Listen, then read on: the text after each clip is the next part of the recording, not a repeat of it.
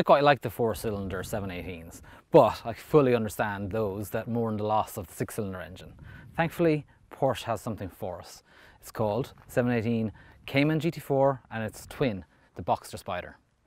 At the heart of these twins is a new 4 litre flat 6 engine.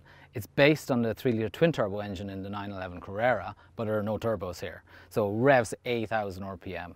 It almost doesn't matter that it's got 420 horsepower, 420 newton meters of torque. It's all about that high revving, noise, everything. Now, something else, it's bolted to a six-speed manual gearbox. It's the only gearbox offered in this car, kind of emphasizing that this is the driver's option.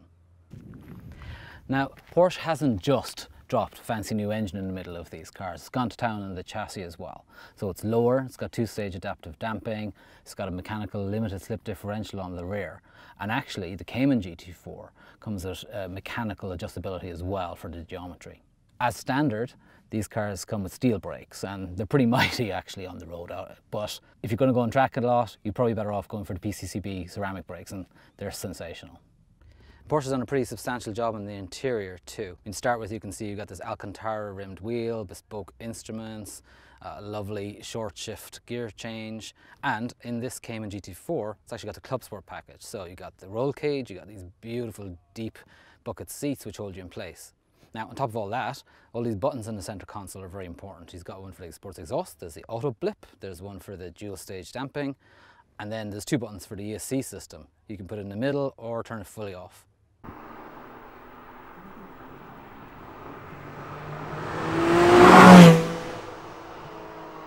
Now, as I mentioned, got the naturally aspirated engine, the manual gearbox, and a rather special chassis. Um, on track, it's just sensational. Huge engagement, but best thing about it is that you actually have to concentrate and get the most out of it. Now, you can be lazy. Um, it's quite a torquey engine, four litres and all that.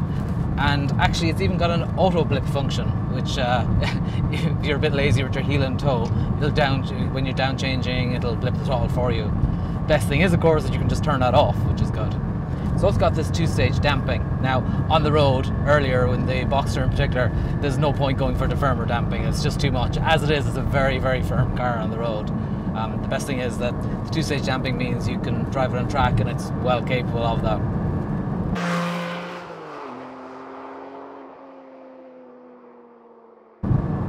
It's also got a sports exhaust that you can switch on and off, so if you want to be nice to your neighbours, I guess, but you know, it is a, a car to be driven and to be heard, and with that natural aspirated six cylinder engine, you want to hear it.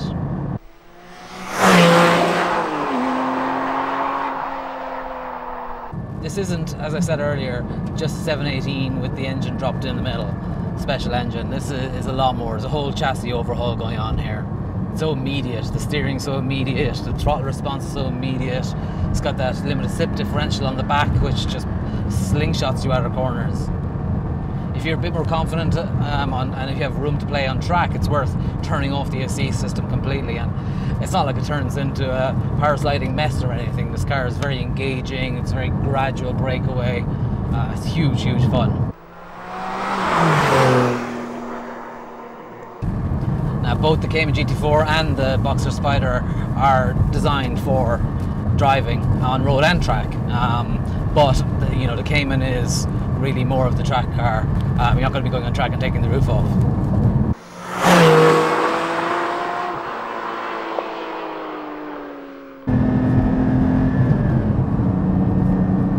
And while you will want to rev this engine out, it, hits the limiter at 8,000 RPM. You don't have to. It's a 4 litre. It's got absolutely loads of torque. So I'm in fourth gear here, still pulling strong. You can probably see car moves around quite a bit. It's quite a bumpy Scottish road, but it's fully in control. Well, that's our first look at the Cayman GT4 and its Boxster Spyder brother. Let us know what you think in the comments below. Make sure you subscribe to the YouTube channel. And if you want a full detailed review, go to completecar.ie.